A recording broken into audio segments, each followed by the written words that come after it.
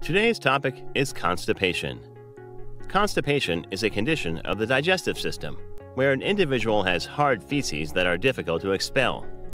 In most cases, this occurs because the colon has absorbed too much water from the food that is in the colon. The slower the food moves through the digestive tract, the more water the colon will absorb from it. Consequently, the feces become dry and hard. When this happens, emptying the bowels can become very painful. Causes Constipation usually results from not getting enough exercise, not drinking enough water, or from a diet that does not include an adequate amount of fiber rich foods like beans, bran cereals, fruits, raw vegetables, rice, and whole grain breads. Other causes of constipation include anal fissure, or a tear or crack in the lining of the anus, chronic kidney failure, colon or rectal cancer, depression, hypercalcemia, abnormally high levels of calcium in the blood, hypothyroidism, underactive thyroid gland, illness requiring complete bed rest, irritable bowel syndrome, and stress. Signs and symptoms the main symptoms of constipation are increased difficulty and straining when passing stools. Passing fewer stools than usual can be a sign of constipation. Other symptoms include stomach ache, stomach cramps, feeling bloated and nauseous, losing appetite. Diagnosis Medical history.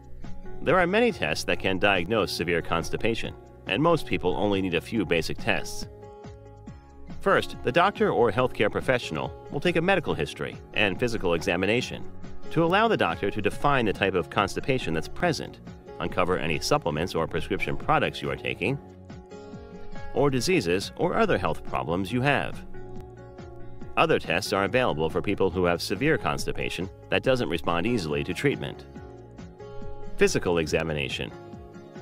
A physical examination may identify diseases for example, scleroderma, that can cause constipation. A rectal examination with the finger may uncover a tight anal sphincter that may be making defecation difficult, or it may find that the muscles of the pelvic floor do not relax normally.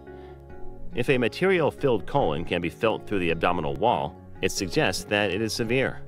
Stool in the rectum suggests a problem with the anal, rectal, or pelvic floor muscles. Blood tests blood tests may be appropriate in evaluating your condition. More specifically, blood tests for thyroid hormone to detect hypothyroidism, and for calcium to uncover excess parathyroid hormone may be helpful. Abdominal X ray. Large amounts of material in the colon usually can be visualized on simple X ray films of the abdomen. And the more severe the constipation, the more visualized on X ray. Barium enema a barium enema of the lower gastrointestinal GI series is an X-ray study in which liquid barium is inserted through the anus to fill the rectum and colon. The barium outlines the colon on the X-rays and defines the normal or abnormal anatomy of the bowel and rectum. Some additional tests are colonic transit or marker studies, defecography, anorectal motility studies, magnetic resonance imaging defecography, colonic motility studies. Treatment Treatment for chronic constipation usually begins with diet and lifestyle changes meant to increase the speed at which stool moves through your intestines. If those changes don't help, your doctor may recommend medications or surgery. Diet and lifestyle changes. Your doctor may recommend the following changes to relieve your constipation. Increase your fiber intake. Adding fiber to your diet increases the weight of your stool and speeds its passage through your intestines. Slowly begin to eat more fresh fruits and vegetables each day.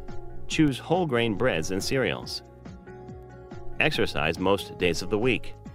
Physical activity increases muscle activity in your intestines. Try to fit in exercise most days of the week. Don't ignore the urge to have a bowel movement. Take your time in the bathroom, allowing yourself enough time to have a bowel movement without distractions and without feeling rushed. Laxatives. Several types of laxatives exist. Each works somewhat differently to make it easier to have a bowel movement. The following are available over the counter. Fiber supplements. Fiber supplements add bulk to your stool.